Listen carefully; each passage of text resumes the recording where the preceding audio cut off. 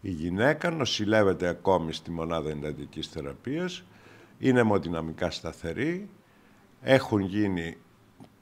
οι εξετάσεις οι οποίες προεβλέπεται, ορισμένες εξ αυτών είναι αρνητικές, σε ορισμένες δεν έχουμε ακόμη όλα τα αποτελέσματα, είναι σταθερή και είναι στη διαδικασία αποσωλήνωσης.